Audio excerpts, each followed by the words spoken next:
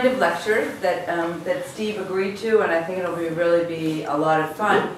Ian and his, he and his group, um, sang at our, and, and the, the groups, um, sang at our, um, garden party this summer, and that was a huge hit, and that's what made me start to think about the fact that it would be fun to do, have one of the lectures be a little more, um, a little more lively. And so Steve, um, and Steve certainly needs no introduction, but he is a genuine, authentic Marblehead fisherman. And right, here he is in person. Um, and Steve's going to introduce the rest of the musicians, and we're really so happy to have all of you here this evening. So thank you very much for coming.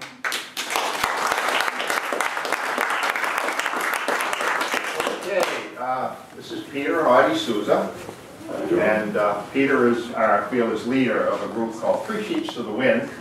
And he also sings with his wife Audie. And uh, Tony Hilliard, his wife Janet Young. And uh, Tony is also part of Three Sheets to the Wind. And Peter and, I mean, Tony and Janet are also known as the Dory Mates. And uh, None of us drink. it's crazy. Very boring people, very boring. But anyway, we'd like to, uh, like to start off this evening. Tony and I are going to do a song, and then uh, Peter Audie will do another one, then Tony and Jan will come and do another one, then I'll go into the, uh, talking about commercial fishing here. So, uh, we have a song that we, we like to do with, actually called Make and Break Harbor. It's written by Stan Rogers.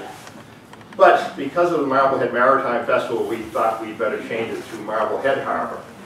And it's actually a song about commercial fishing, about how bad the commercial fishing had gotten up in Nova Scotia or the Maritimes. We're kind of faced with the same kind of situation around here now, where commercial fishing is really a tough way to make a living. So many restrictions and, and uh, there's so few fish. It's a uh, pretty, pretty tough way to make a living. So anyway, Tony and I are going to do Marblehead Harbor.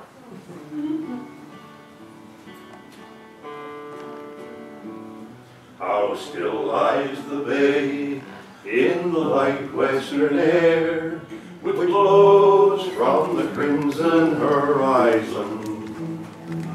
Once more we tack home with a dry empty hold, saving gas with the breezes so fair. She's a kindly Cape Islander, old but still sound, but so lost in the long iron shadow. Make and break and make do, but the fish are so few that she won't be replaced should she founder. In Marblehead Harbor, the boats are so few, too many are pulled up and rotten houses stand empty, old nets hung to dry, are blown away, lost and forgotten. Now it's so hard to not think of before the big war, when the cod went so cheap but so plenty. Foreign trawlers go by now with long seeing eyes, baiting all where we seldom take any. And the young folks don't stay with the fisherman's ways.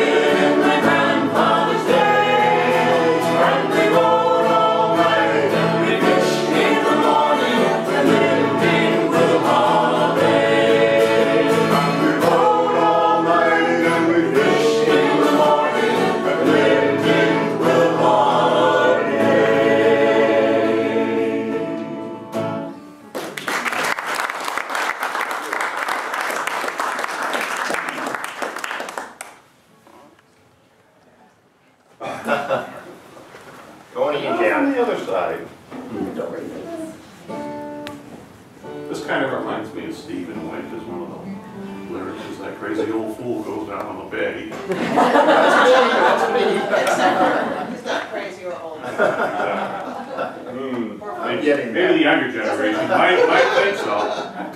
But I'll never forget the time he asked me to come out and watch him change the water in his traps.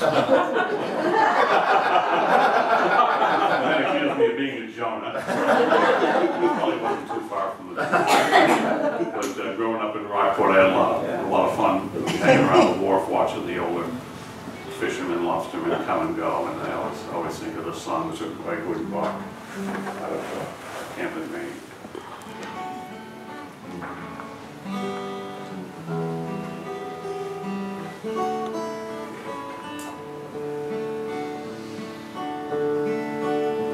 When the wind's away and the wave away, that crazy old fool will go down on the bay, dodging the ledges and setting his gear, and come back when the wind drives him in. And he knows full well the fishing is done. His credit's all gone and the winter has come. But as sure as the tide will rise and run, he'll go back on the bay again. When the snow is down on the western bay, at full go running the fiddler's ground, hauling his gear in the trough of the sea, as if he'd no mind of his own. And he knows full well the fishing is done, his credit's all gone, and the winter has come.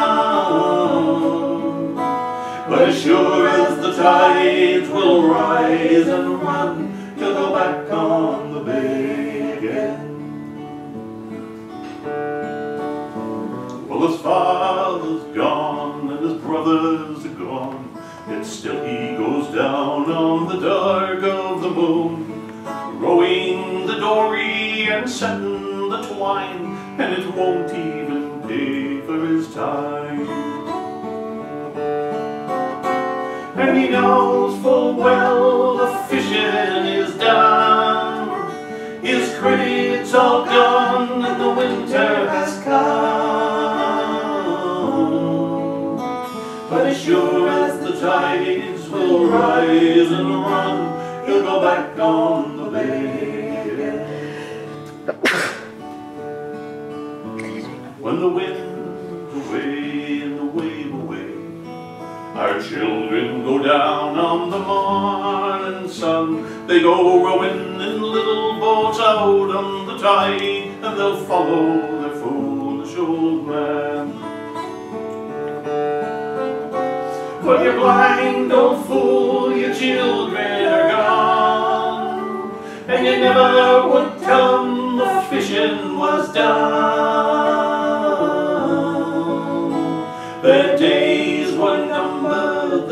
They were born, the same as their foolish old man. Their days were numbered the day they were born, the same as their foolish old man.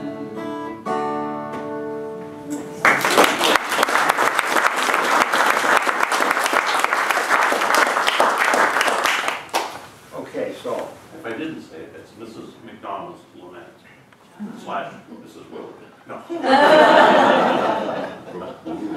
anyway, what I'm gonna talk about this evening is, uh, the history of commercial fishing in my lifetime and, and how I experienced it.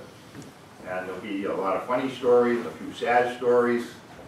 Uh, I think maybe what we'll do is take a little break during the middle of things and let you come up and look at some of these books and pictures and things that are here. Help you to, uh, understand a little bit about it. But anyway, I started commercial fishing when I was twelve years old. You can see this big fish that this other fellow and I are holding up here, that was about a fifty pound codfish. And uh, I grew up on 80 Front Street, right across from the Marblehead Trading Company, It used to be Graves' upper yard. And needless to say, it was just natural for me to wander across the street and get involved in boats and sailing and fishing. Uh, I was running launches and teaching sailing probably at 11, 12 years of age. And uh, Odie Melmore, who owned the Marblehead Rental- Boat Company, and uh, my wife's uncle, Donald Russell, bought a Novi boat out of Saugus. Now, a Novi boat is just a term for a boat built in Nova Scotia, so they call them Novi boats. This boat in particular happened to be called the Novi. That was her name. She was a 40-footer. And uh, about a week after they bought it and brought it to Marblehead, we had a hurricane. So we took the boat over to Salem to tie it up in a secure anchorage. And uh, out of the 400 traps that they bought with the boat, I think they lost over 300. So that was a, not a good way to start a business. But uh, we started hooking, which is fishing tub is- this is not an accurate tub because we use wooden tubs, but this is accurate as far as the size. You can see the line is coiled into the tub.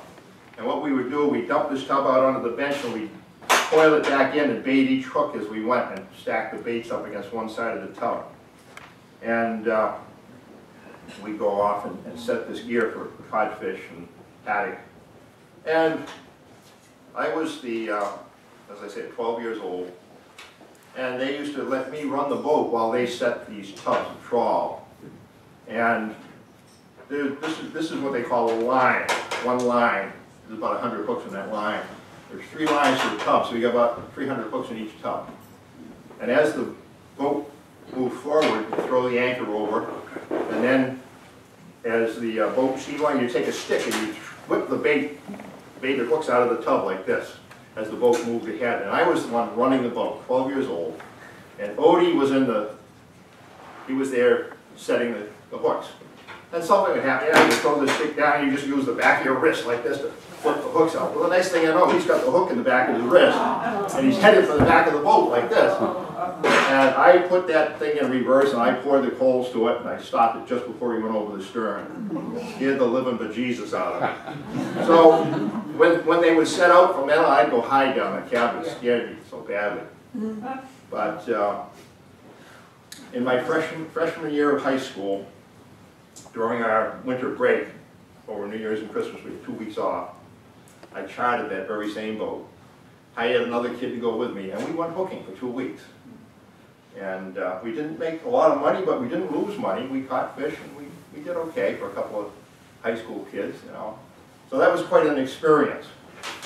So we would set, I think the last day, we had 11 tubs baited up, and back to school the next day, we didn't get out, it was windy, we had 11 tubs of gear baited up aboard the boat. We had to go set it just to get the bait off of it. So we went out, set the 11 tubs, hauled it back, slatted all the bait off, and coiled it back into the tubs and put it all away, went back to school. It was kind of fun. So, from there, uh, we went lobstering in the summers and- and hooking, what they call hooking, setting tub trawls. Uh, You could call it trawling, but trawling is actually the process of dragging a net behind a boat, so this was called hooking. Uh, Lobster gear, you know, when I was very young, I used to go around and collect the old plaster lads. If somebody was remodeling a house, I'd pick up the lads off the side of the road, and I'd take them home, and I'd build a frame, and I'd put these lads on there, and create a lobster trap. And I had a fellow who lived in Jackie Burns' shanty down at Fort Sewall. And he was kind of a homeless guy, and he would knit heads with the nets for the traps. So I'd get my heads from him, and I'd build these traps out of softwood and, and plaster laths, and they caught lobsters. Uh, This is more typical of the traps that we used to build when they were all wood. Uh, unlike this one, which is, as you say, a wooden frame with all netting on the sides. And oftentimes they would put wire, which is what this trap is built of, is the uh, wire. They started using this for the doors and the bottoms. And then they evolved to all wire like this one. So the whole thing about lobstering is you're trying to trick these lobsters, you're trying to fool them. So they enter, you hang a bait bag right, right in the middle here, in it. And they climb in through these openings here, which is called the kitchen, this is called the kitchen. And uh, they get in there, they eat the bait, and then they look for the easiest way out. Well, the easiest way out was to go out through this net that goes into the back of the trap because it was like a ramp. They crawl right up over the ramp instead of having to climb out through these rings here. The idea was to trap them in the back of the trap so they couldn't get out. It would take them longer to figure it out. Give you enough time to get out and haul the trap and catch these things before they get away. Which they could do. They figure it out after a while. Uh, Some of the things that have changed, of course, they say we went to the wire traps. And uh, one of the best things they ever did in these traps, they require us now to put an escape vent, which is what this is. And that allows all the small short lobsters to go through this vent and escape rather than being in the trap and getting bitten and losing claws and being damaged by the fishermen ripping them out of the traps trying to get to the keepers. There was just a lot of damage happening. It wasn't necessary. So that was uh, probably the best thing they ever came up with, was that escape vent. So. Uh, I used to work for a lobsterman named Joe Walker. And Joe was an American Indian, lobsterman here in town. And uh, he had one of the shanties down at Fort Sewall. There's two groups of shanties, which are fishermen's workshops here in Marblehead. One is down at Fort Sewall. There's about eight of them, I think. And they're on town land. The guys pay rent to the town once a year, and uh, they have the right to use these shanties and store their gear. So I would go down after school and worked for Joe building traps, very much like this one that you're looking at here. It's not 100% accurate. This was built by Winchester Fishing Gear up in Gloucester, just as kind of a display piece. Uh, typically, these, you see the ropes that are holding the nets in here. We'd actually use copper nails to hold the side, and we'd use an oak stick to hold the top and bottom. Um, we would, uh, we could buy the kits, you can, you buy kits, and then we'd assemble them in the shop. Uh, Also, you know, we spent the winter painting buoys. This was, this was Joe's color. Joe was orange and, and uh, yellow. And uh, he was very fussy, all the buoys had to be sanded and painted just so. Uh, Took a lot of pride in this. He had a boat called the Whistler, and he was a very superstitious man. And, it's believed that if you whistle aboard a boat, you're gonna whistle up a storm. So it's considered bad luck to whistle aboard a boat. And Joe was very superstitious. The other thing was that uh, you never, never, ever turn a hatch upside down aboard a boat. That's the worst kind of bad luck. And when I had my boat, I had my crew, every time I hired a new crew member, the, the rest of the guys were just waiting for the new guy to turn the hatch over because they knew what was gonna happen. I was gonna jump right down his throat and say, don't ever do that again. So, uh, Joe's boat was what they call a Jonesport style, built in Jonesport, Maine. Very long and lean, narrow, thirty-two foot, probably eight feet wide. But they, they, you know, slid through the water very nicely, they're fuel efficient. Uh, That boat was lost, I don't know what year it was, but Marblehead Harbor froze over solid one winter.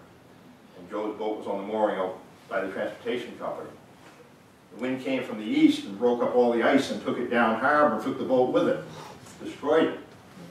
So we had to uh, borrow some money and call the boat builder up in uh, Jonesport and say, build me another boat quick. So we went up to pick the boat up. And uh, two of the fellows brought the boat back and, and the other two of us drove back in the car. But uh, it was a boat almost identical to the one he lost.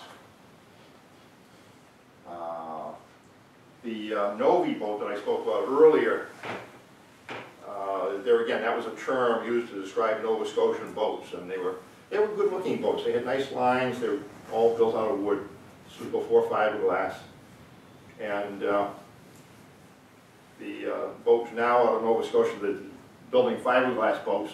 Some of them are a little crude. In fact, one of the builders up there got the nickname Chainsaw. So crude, it's like somebody crafted it out with a chainsaw.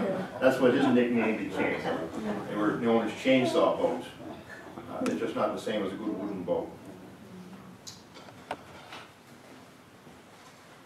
Now, the uh, lobster buoys, there again used to be wood like this.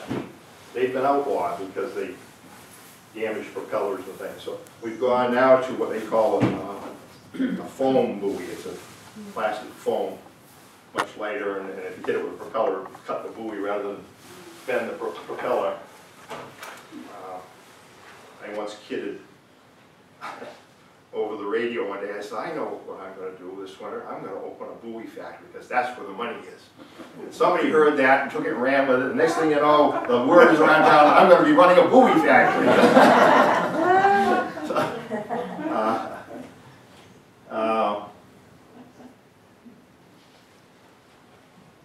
This is a trap here, this is a replica that a friend, Joey Sylvester makes. Uh, This is a coffee table, put a piece of glass on top, it's all mahogany, and he knits all the heads, all the netting himself. Sells these for coffee tables.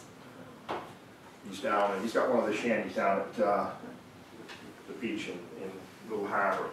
Now, those shanties down there, down by the, the lower yard or by the Marblehead Lobster Company, there's, uh, there again, about eight of them, and they're on association land. In other words, the, land is owned by the group of people who own the shanties, and they pay rent. And that's unlike the one that's over Fort Sewall, which is town owned. My wife and I have a shanty in our backyard, which was her father's workshop when he was lobstering, and he used to build his traps out there. Uh, Her father was Henry Briggs, and Henry Briggs and, and uh, Freddie Bartlett and a couple of other people formed the uh, Massachusetts Lobstermen's Association, uh, co-op. In our kitchen. And that was located over in Saugus. It was a fisherman's co-op where they would buy your trip and you could buy your supplies through the co-op at a better price, like a farm co-op, you know, same kind of thing. Unfortunately, it's gone out of business, but, uh, okay. uh, Lobstering, of course, you need bait catch these lobsters. Bait has always been a problem. Some of us manage to catch our own gill nets or whatever. I used to catch most of my own bait. But then, one, one year, the two boats that used to run out of Gloucester, there was a place called the Dehy, which is a dehydration plant in Gloucester. Had two boats that fished for Menhaden.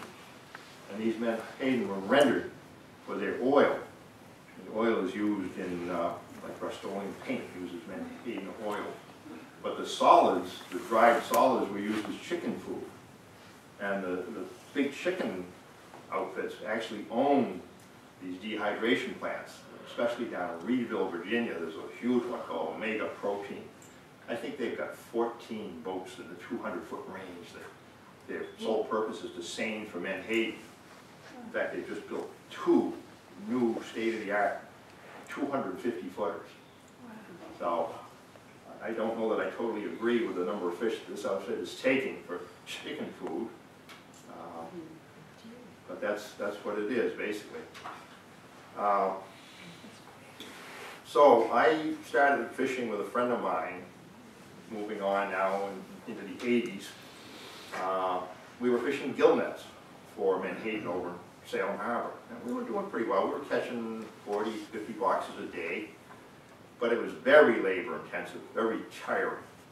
So another fellow, a couple of other fellows and myself, with our two boats, started seining for Menhaden. And that's less labor intensive because you set a big net in a circle around a school of fish and you pull the drawstring at the bottom and you trap the fish. That's called purse seining. And uh, so we started doing that. And we had a few fish in the net over in Salem one day and it was a little windy. So one of the fellows said, uh, well, I guess I'd better throw the anchor over. He got up on the stern of the boat with a hundred pound anchor, he swung back like that, he heaved it. And when he heaved it, it caught it right in the front of the apron, just like that. And over he went, splash. Now, his friend on the boat with him was a heavy set guy, he just fell on the deck and was literally rolling on the deck laughing so hard he couldn't even help this guy who was down the bottom with the anchor. And I was on my boat watching this whole thing happen. So finally, Billy comes up, spitting out water, he's clawing at the side of the boat like this. And the other fella's still laying on the deck, just rolling on the deck, just laughing, laughing. So Billy finally managed to climb back aboard the boat all by himself without any help. He looked over at me, and in his gravelly voice, says, well, while I was down there, he says, I stuck it in the mud real good.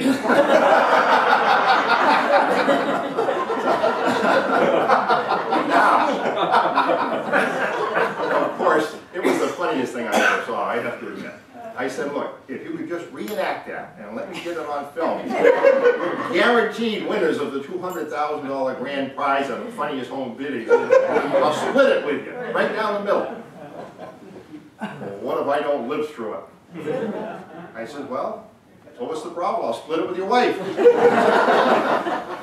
But all the fishermen used to use on the marine radio, Channel 19, that was our channel to talk back and forth. Well, Billy became known as the Channel 19 anchor man. He says to me, he says, you're never gonna let me put that out here. I said, hell no, that's the funniest thing I ever saw. So, that, that was one funny story. Like I say, there's a lot of funny stories, a lot of sad stories, but, uh, that was one of the funnier ones, I have to say. Uh, So, from there, my friend Larry Smith and I decided to get into seining in a bigger way. So we set up his boat, which was a 31-foot JC lobster boat, to be the seine boat that would carry the net and set it around the school of fish. And I bought a boat, well, actually, we bought the boat in partnership, which was a 43-foot dragger, to carry the fish to sell to the lobstermen for bait. Well, I knew that the uh, airplane pilot who worked for the two big boats up in Gloucester, uh, when the Dehyde plant closed, he was out of work. But he had bought this boat because he took his commission in fish, and he was gonna run a little bait business, and take the commission in fish rather than cash, and run a bait business. Well, he wasn't very successful. So he sent the boat down to Rhode Island for a prospective buyer, and then that fell through. So I went to him, and I said, look, I said, I know you've got this boat, and you're stuck with it. So I said, I'm gonna tell you what I'm gonna do. I said, I'll take the boat off your hands, and this is what I'll give you for it. And I said, all I want for you, from you in return, now you have to realize, he had just bought the, uh, the uh, flight training center over Beverly Airport. It was a new business, he was just starting out, so he needed a little extra income. And he was no longer spotting fish because the boats were tied up. So I said, I'll buy this boat from you, and I'll run a bait business, and I said, I want you to be my spotter pilot. But I want you to sign an agreement, if I buy this boat, take it off your hands, that you'll fly for me and nobody else for the rest of your natural life. He said, okay. We actually had a lawyer draft the contract, and he signed it. He'd fly for us unless we gave him permission, which we would do occasionally, to let him set some of our competition. There were two or three small operations in the area, one out of Boston, one out of Revere. And uh, we would all work together most of the time, not all the time. But if I had extra fish, I'd give them to one of these fellows. And if he needed the plane to set, set him, I'd let the plane do that. Or if he had extra fish, he'd give them to me. So we all kind of worked together most of the time. Uh, One day, I had been to talk to a fellow in Swampscott about perhaps buying another boat to make my operation a little bigger. And he said, well, if I don't sell the boat, I, I might go carry a little bit of bait for the guys in Swampscott. He said, does that bother you? I said, no. I don't sell to the guys in Swampscott, so that's fine with me. Well, he showed up one day over off of Revere, and I had the plane up there, and we'd agreed to let the plane set him. And he showed up to buy bait from this, from competition in, in uh, Gloucester, which we had agreed to let the plane set the guy. So I called on the radio, I said, uh, where are you gonna sell this bait if I let you, uh, use our plane? Anywhere I want to, he said, well, my partner called Arnie, the pilot of the plane, he's Arnie, don't set him. And the fellow called me back, he said, what's the matter with him? I said, well, I guess he didn't like your answer. Why should we, you know, fill up your boat to go sell to our customers, you know? Doesn't work that way. So, that was the end of that story. Um, We did pretty well for two or three years, and we averaged about thirty thousand pounds of fish a day. We sold bait to all the fishermen in Gloucester, uh, not Gloucester, Salem, Beverly, Marblehead, basically, few from Manchester. But we would take orders in the morning. I'd get on the radio, I'd call the fleet, I said, how many boxes of bait do you want today? And each guy would call me back, I said, I want ten, I want two, I want one. Total it all up, call the plane, we need a hundred boxes of fish today, Arnie. Okay, he said, I'll go find a hundred boxes of fish. And this guy, he, from the plane, could tell what kind of fish he was looking at and roughly how many were in that school. And sometimes he'd be right on the money, sometimes we'd come up short, and if we came up short, we had to do it again. And sometimes we'd get enough to fill the boat in one set. Uh, But we just keep doing it until we got enough to cover our orders, and then we'd go send the plane back to the airport. We'd go hang on a mooring over Salem Harbor and call the fleet, and they'd come over and buy their bait. And uh, the ones that didn't get the bait during the day would come to my house in the evening, because I had a big ten by eighteen walk-in freezer, John and Nancy did, in my backyard. And uh, any fish that was left over went into the freezer and then could be sold out of the freezer. So that meant that we didn't have to waste fish. You know, if we had extra, we could put it in the freezer. And that was a good, good rate. Uh, The fellow wrote a book called White-Tipped Orange Masts. It's about all the draggers in uh, New Bedford and Gloucester. Most of these boats, if you remember, being Gloucester, had orange masts with white tips on them. And uh, my boat included was one of. It didn't make the book because my boat actually came from down at Cape May, New Jersey. But it's one of the last, the last ones. I've still got a piece of the mast in my backyard. Um, There's one boat in here that I fished on. It was called the Challenge when I fished on it. That was a gill netter. But a fellow from Gloucester bought it, turned it into a dragger. And uh, it's kind of hard to see, I know, this is it here. She was a 50-foot decked over, what, what that means is she was decked over high, her decks were up just below the rail. And I call it the gray submarine, because that damn thing wouldn't lift its bow to go over a wave, just right, green water would go right up over the top of the house. Just, it was a horrible boat. Uh, Another story about that boat, the fellow that owned it, they were going out one day out of Marblehead, heading out to the, haul the nets. And they saw a big boat come out of Boston, and they kind of watched it, they didn't think much of it, oh, he'll turn, he'll turn. Well, we'll hold our course, he'll turn, and this thing, blam, T-bone. And, and it just made a, a big V, about, started about this big, and went down like this, right to the water line. And fortunately, it was a calm day, and they moved all the weight to one side, got the boat to lay over, and they got into Marblehead safely, but very nearly lost her that day.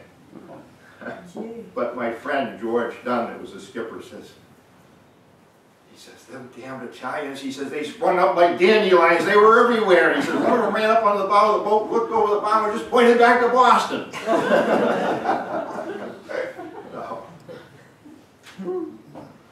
Uh, while we're talking about seining, I'd like Peter to do a song called, uh, Won't You Help Me to Raise Raise 'Em Boys? And what this song is about, is about, basically it was written about or by some of the African-American menhaden fishermen down off the coast of Virginia and the Carolinas.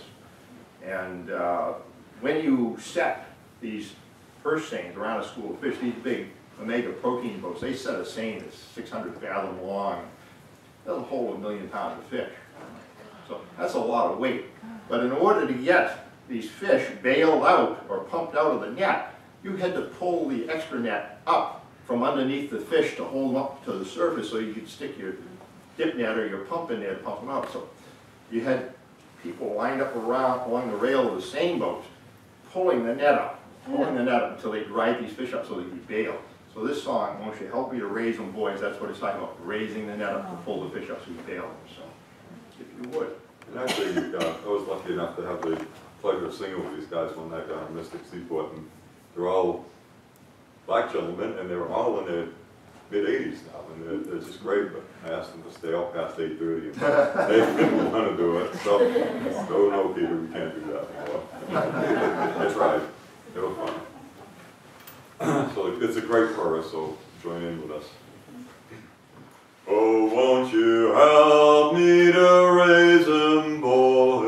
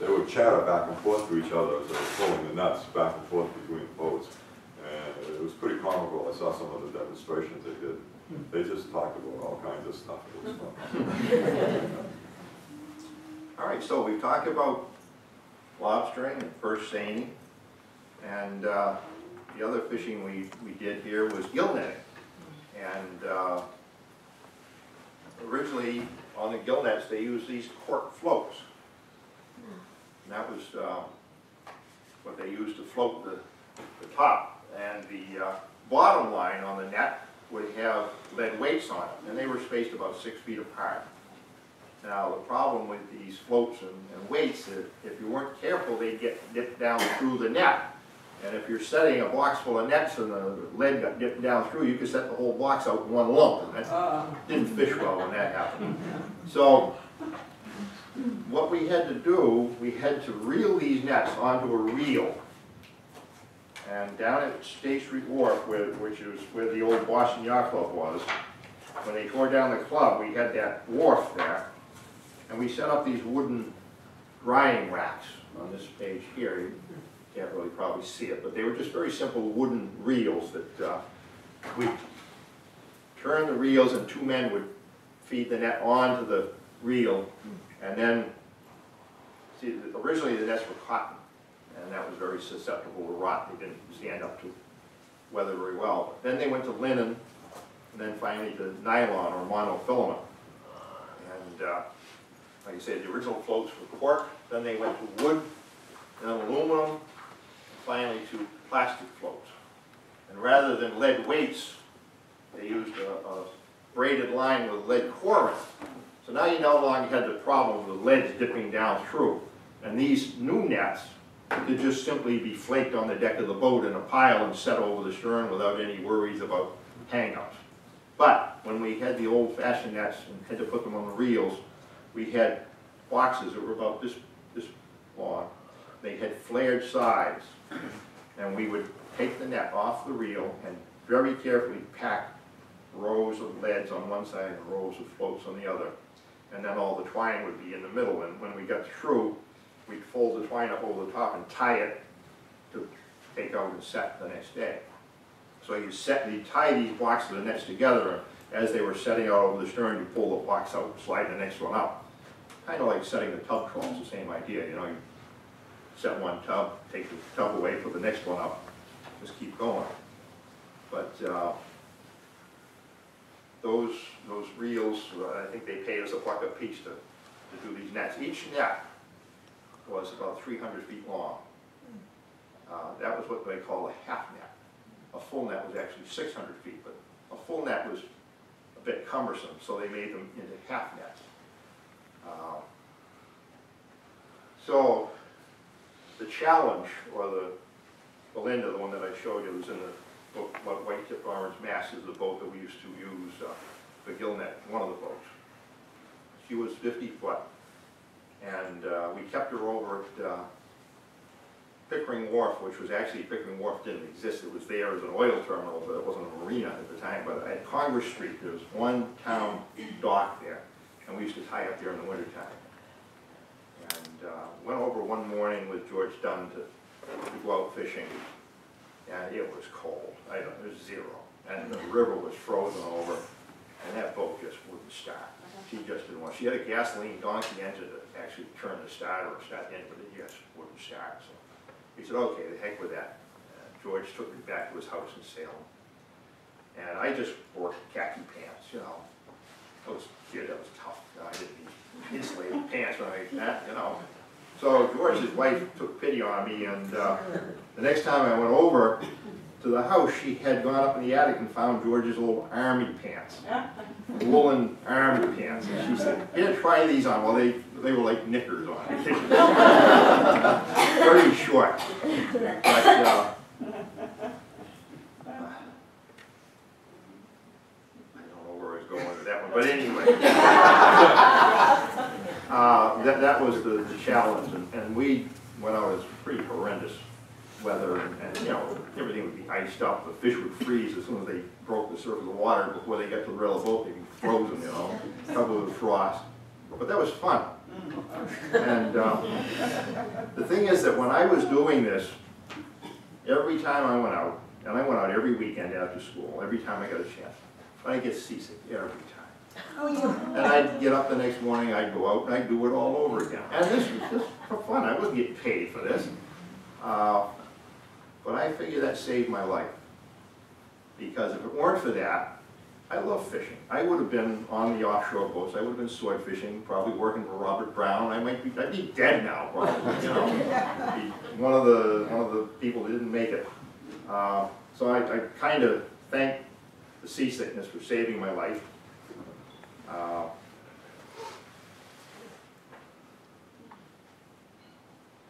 You might have seen the, the movie The Perfect Storm, and one of the fellows came down, and he said he had a bad feeling.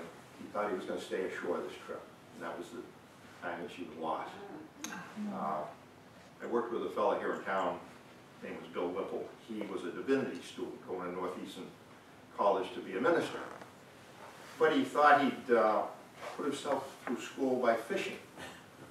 So he bought a nice little 32-foot Jonesport boat, like we were talking about earlier, long and lean, 32-footer. Boat used to belong to a fellow named Watson Curtis, who was one of the local fishermen here. It leaked so bad that his nickname was Shredded Wheat. Well, Fred Dodge, a local contractor, bought the boat totally did it over. The thing was like a yacht, it had brownish trim, it was all painted up pretty. And- And Whipple bought this thing and he was gill netting, hauling the nets by hand rather than with a hauler. Uh, He was a big rugged man. And he was doing quite well with it. He was making money. uh, But he was fishing nights and weekends after school. He came down one evening, it was six o'clock in the evening, and he had the boat into the wharf with the transportation company. It was six o'clock in the evening, it was ten degrees, blowing a gale from the southwest, and it was snowing. And all the guys at the transportation company said, don't go out, don't go out. Well, he was rather stubborn, so he decided he was gonna go. But I was standing there with one foot on the rail of the boat, one foot on the float, I had my boots, I had my oilskins. I said, took my foot off the boat like that, I'm not going. And he got out there and uh, there was some condensation in the fuel line, it froze and the engine stalled. So he called, or signaled with a flashlight, I guess, and got the attention of a little coastal tanker called the Lucy Rhino. He used to go up the Danvers River.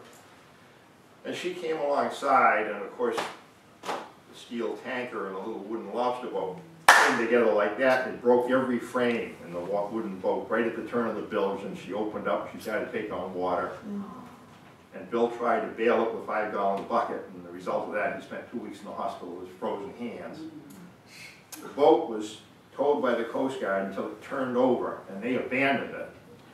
And uh, somebody down in Scituate, I think, found it drifting around and claimed salvage on it. Basically, it was a good little boat.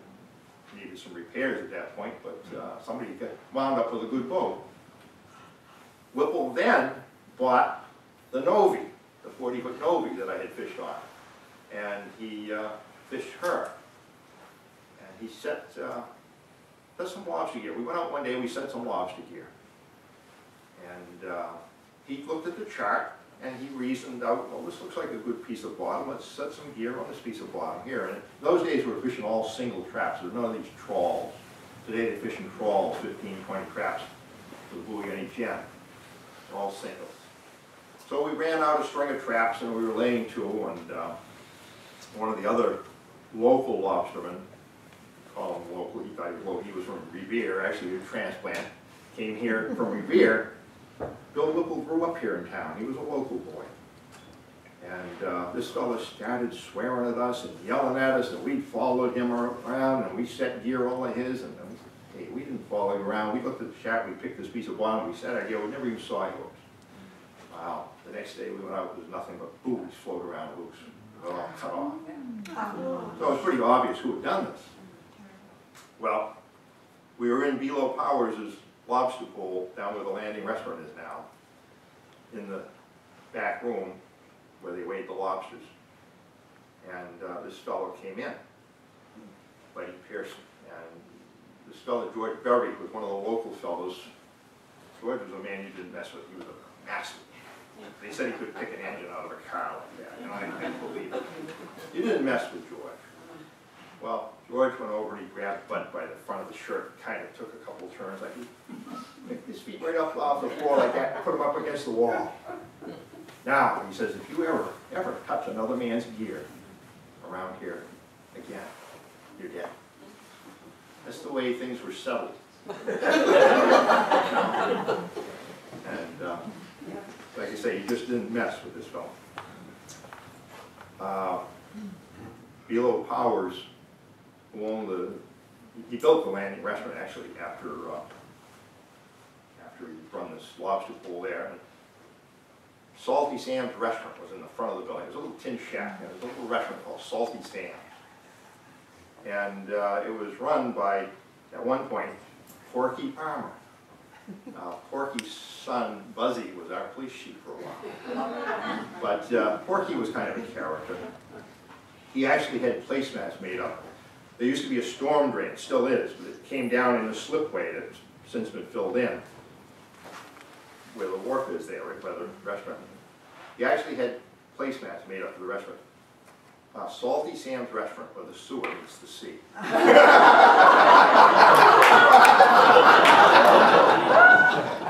Right now, I've, I've got a couple of historians looking for one of these placemats. And I know that somewhere out there, there's got to be one of these placemats.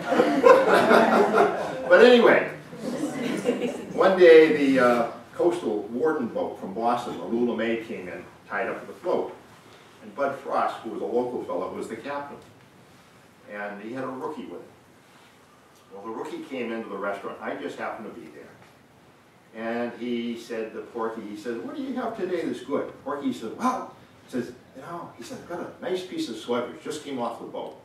Oh, Georgie Berry on the challenge, he was skipping the challenge at that time, It just brought in a big gray shark and he cut off a bunch of steaks and gave him to Porky. Well, this was before eating shark was fashionable. So the guy said, well, that sounds good, I'll have some of the swordfish. Porky broiled up a piece of uh, gray shark, french fries, lettuce and tomato, tartar sauce, the whole thing. Served it to this guy, and the guy ate it, loved it. Porky says, how was the swordfish? Oh, God, that's the best swordfish I ever had. He said, well, I'm glad, because you just ate a piece of gray shark. Well, the guy went ballistic. He was gonna sue Porky, he was gonna shut him down, he was gonna do this, he was gonna do that, and just at that time, Bud Frost, the captain, walked in. Saying, you ain't gonna do nothing of the kind. He said, get down to the boat, keep your mouth shut. The guy was just having fun with it. He wasn't even gonna charge you for the meal. So, at one point, Bill Powers, who owned the building, and his son Bill Powers working there.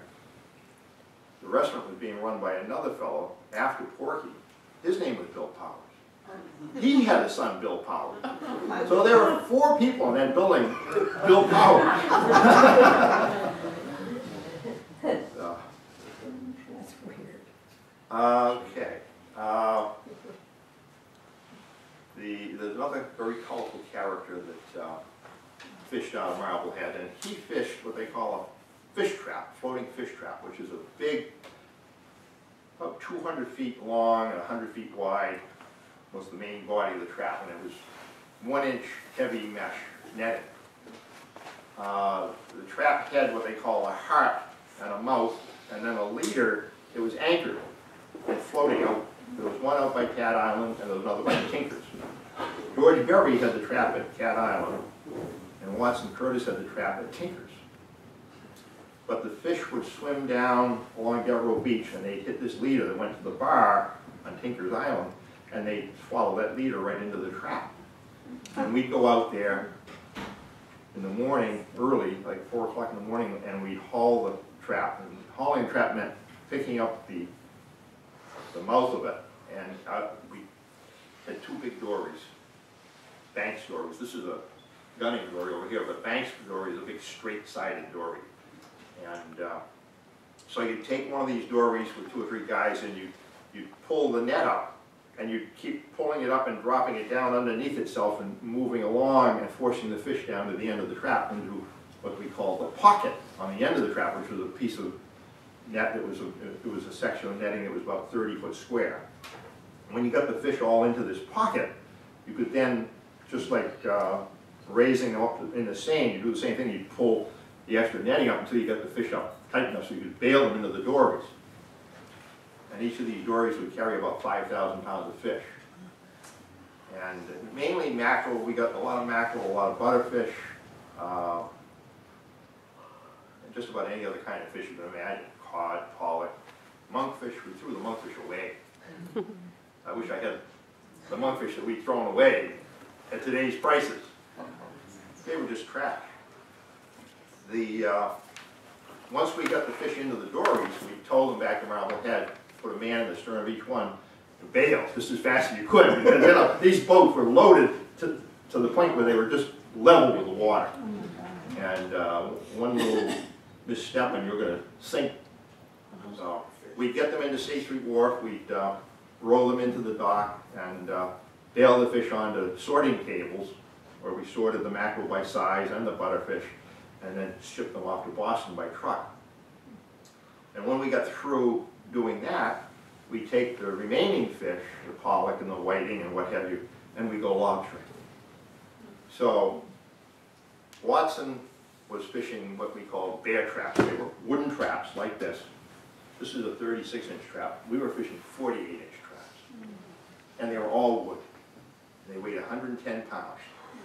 That's why they were referred to as bear traps. They were just terribly heavy. But uh, Watson was kind of a colorful character. And at one point, we got together and we had a meeting at the harbor master's office, which was, used to be in the old uh, townhouse down in the basement where they just remodeled the whole thing. Um, Had a meeting there at the harbor master's office about putting in a conveyor belt down at State Street Landing, which some of you have probably seen down there, that we use to bring the traps and the fish up and down from the float. Well, Watson Curtis was kind of boisterous. He got up, I gotta back up a little bit because the boat that he had was a fifty-foot Maine-built lobster. It was a real pretty boat. I always wanted to have one built just like it. But it had six berths, accommodations for six people. And It was all mahogany down below. It was beautiful. Well, my friend Steve Goodwin and I started sleeping aboard the boat to go fishing with Watson, just for fun. We didn't get paid for it. It was fun. It was fun to sleep on the boat. You know, we'd be there and the engine would start at four o'clock and we'd go out to Tinker's and haul the trap and come back. Well, anyway, uh, it got to the point where Stevie brought a friend, the friend brought a friend, and the next thing you know, all six berths are full, and Watson's got six men working for him, not getting paid, just doing it for fun. It got to the point where we had to make reservations to go work for Watson and not get paid. Uh, So we're having this meeting, and us kids had, you know, sorted and packed and lugged thousands and thousands of bushels of fish up that gangway. Watson gets up there, oh God, he says, this is the best idea. He said, this is the best idea I've ever heard about.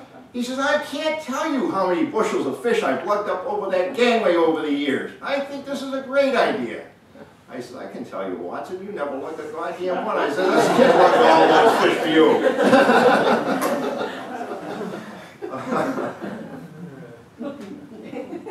So, uh, Another uh, well-known fisherman in Marblehead is Hugh Bishop. Hugh has written this book with his sister Brenda called Marblehead's First Harbor, and it's actually available here in the museum. Huey had a boat called the Mistress, which I think is probably about the best name you can find for a boat, because they are a mistress, you know? Uh, It was a fifty-footer, built up in Maine back in the seventies. He, uh, he went offshore lobstering for a while, and then uh, he gave that up and he uh, was hooking. And I, I worked with Hugh a little bit, and uh, we used to go occasionally out to Cashes Ledge, which is 80 miles out of Marblehead. And uh, there's only about 35 foot of water on top of the ledge. But the, there was pollock out there like you wouldn't believe. We fished hand lines for pollock, jigging for pollock. We had five hooks on the line, big jig, and then four more hooks up the line. And you couldn't get that line halfway to the bottom if you loaded up with pollock this big. So it means you've got five fish this big on, on the line at the same time. And we had a roller mounted on the rail of the boat to hold this line, because if you were just trying to do it without a roller, you never would have been able to pull it. And we could fish and pull in fish just as fast as we could until we were just too exhausted to fish anymore. We used to fish three guys, and we, two guys would fish, one guy would rest, and the other, you know, keep alternating back and forth. Uh, Of course, the prices, we, I think we got six cents a pound for the damn thing, so we've got them in here finally, so. There again, labor intensive, a long steam. Uh, Huey and I went alone one time, just the two of us, took the boat out there. And she did about ten knots, so you talk about an eight-hour trip. Uh, So I had the last watch, and uh, it was getting kind of nasty, so I slowed her down. Huey came up on deck, he said, what are you doing, Steve? I said, I just slowed her down, Huey. He said, God, I've never slowed this boat down. I said, well, I just did. Hmm. He said, what are we gonna do? He says, should we go home? I said, well, home is seventy miles. Cashes is only ten. I said, we might as well finish the trip, go to Cashes, catch some fish, and then go home. So that's what we did. But that was, that was a nasty day. Actually, you and I both got sick that day. But the seasickness is funny, as I say, it probably saved my life. But in all the years that I fished my own boats, I never got sick once. Not oh, once on my own boats. And I was out in some long days and rough weather, mm-hmm. and I can't explain it except to say that maybe it's just a matter of responsibility. Mm-hmm. You know, you get this responsibility to yourself and your boat and your crew. You don't have time for being sick. you mm-hmm. know? So, I think that's the, the case. Uh, Backing, I'm backing up to these corks. We use these on the fish traps as well, to float the fish traps. Uh, Those corks are available in this commercial fishing catalog. They've got a back page that's got a couple of things for decorative purposes. Six ninety-five a piece. Six ninety-five a piece. What do we do with them now? We have them strung up all over the backyard. Why do we have them? We did, we discovered this quite by accident, we have a bird feeder out there, and the squirrels, of course, were always trying to get the bird feeder. And I've got two of these lines strung with these corks from the shop to the house and. And I, I think what happened was one day, one of the squirrels got up, and he, ah, I'll run across this thing over the bird feeder, and he jumped on there, and the cork spun around, he went slap. They don't even try it anymore. Uh, I'm gonna pass this around. This is the lead line that, uh, we use on them. That's just passed around, you can feel it.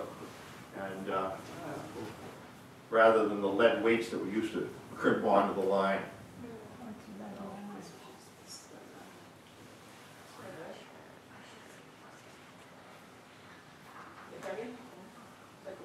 Tony, how about another song? Sure, why not? Why not? This is another little sing-along, you know. And,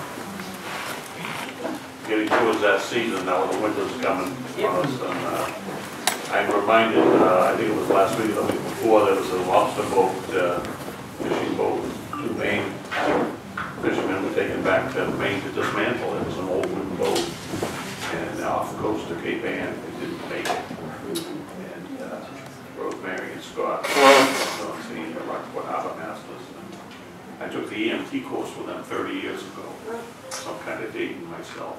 But I've been reminded of this song, and uh, Phil Coulter wrote it, he's a native of uh, Derry, Northern Ireland. Over there, they have uh, lifeboat crews, and they're all volunteers, much like our volunteer firemen here. Only this one has a little happier outcome. Uh, They they rescued the the two men, one of them didn't survive, and one of them did, but another song. Call home from the sea. On a cold winter's night, with the storm at its height, the lifeboat answered the call. They pitched and they tossed, till we thought they were lost, as we watched from the harbor wall. Though the night was pitch black, there was no turning back, for someone was waiting out there. But each volunteer had to live with his fear as they joined in a silent prayer. Carry us home,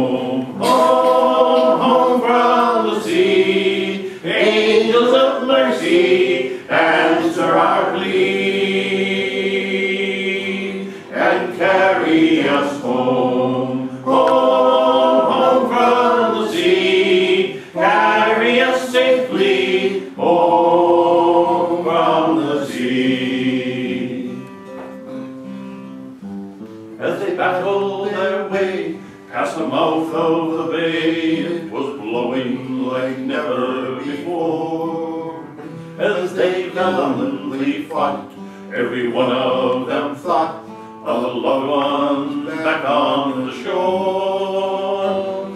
Then a flicker of light, and they knew they were right. There she was on the crest of a wave. She's an old fishing boat, and she's barely afloat. Please God, there are souls we can save.